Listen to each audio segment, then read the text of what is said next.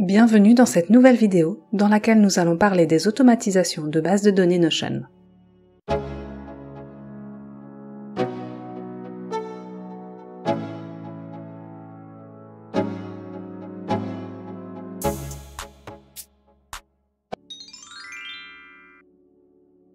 Les automatisations de bases de données sont disponibles à la création ou à la modification à partir d'un plan plus. Cependant, si vous dupliquez un template dans lequel des automatisations sont paramétrées, ou si vous repassez à un plan gratuit, vous pourrez continuer à les utiliser, sans pouvoir les modifier. Un point sur le fonctionnement, vous avez peut-être déjà créé des automatisations de Notion avec Make, et vous avez remarqué que vous deviez déclencher celles-ci à des intervalles. Dans les bases de données Notion, les automatisations se déclencheront immédiatement lorsque l'événement déclencheur interviendra à quelques secondes près. Pour créer une nouvelle automatisation, vous devrez cliquer sur le petit éclair bleu en haut d'une base de données. Une automatisation dans une base de données Notion contiendra un déclencheur, suivi d'au minimum une action. Mais vous pouvez ajouter plusieurs actions dans une automatisation. Vous pouvez créer plusieurs automatisations sur une même base de données, une automatisation peut être déclenchée sur la base de données complète ou sur une vue filtrée de la base de données. Utiliser les vues filtrées vous permettra de déclencher le scénario pour une valeur spécifique d'une propriété.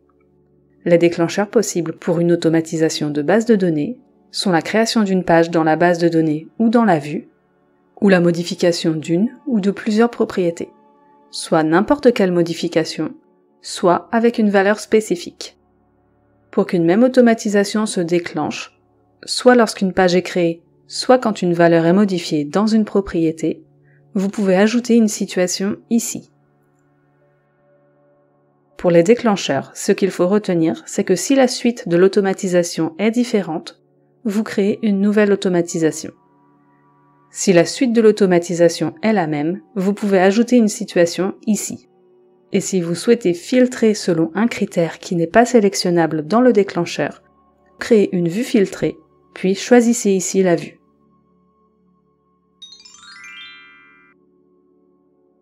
Dans une automatisation de base de données Notion, vous pouvez réaliser plusieurs actions à la suite. Pour ajouter plusieurs actions, cliquez sur le petit plus au-dessus de la première action. Cette nouvelle action s'ajoute en dessous de l'action précédente. Parmi les actions qu'il est possible d'automatiser, on retrouve la modification d'une ou de plusieurs propriétés à l'intérieur de cette base de données, mais également l'ajout d'une page dans cette même base de données ou dans une autre base de données. Ou encore la modification d'une page dans une autre base de données. Pour lier un élément dans une base de données automatisée à un élément existant ou nouveau dans une autre base de données, le plus simple sera d'aller modifier la propriété en ajoutant l'élément de la base de données 1 dans la relation.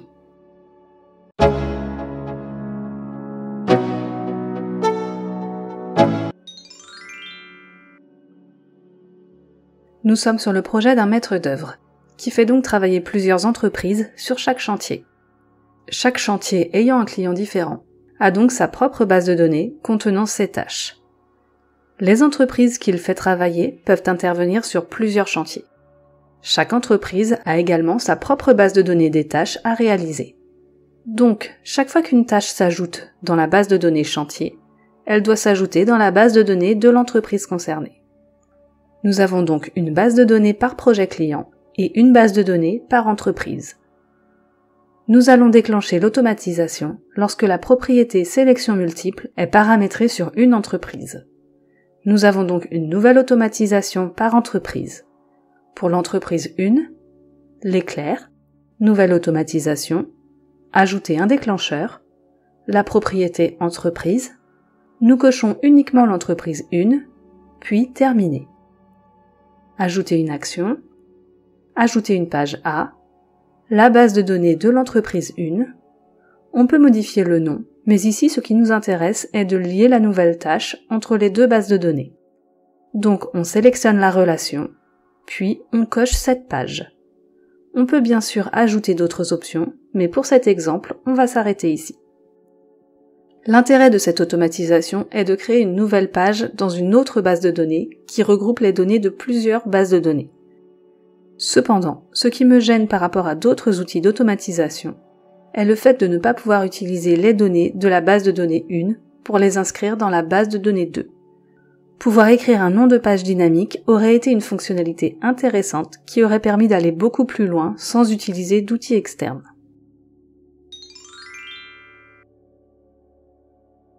C'est un exemple auquel chacun pense lorsqu'on parle des automatisations de bases de données dans Notion.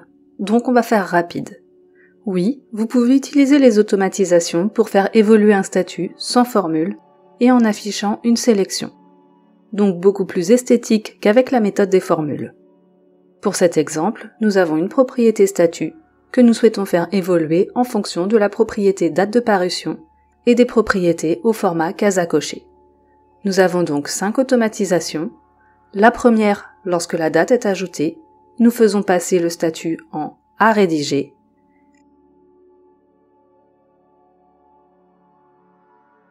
La seconde, quand la case rédiger est cochée, nous faisons passer le statut en à relire et ainsi de suite jusqu'au statut terminé.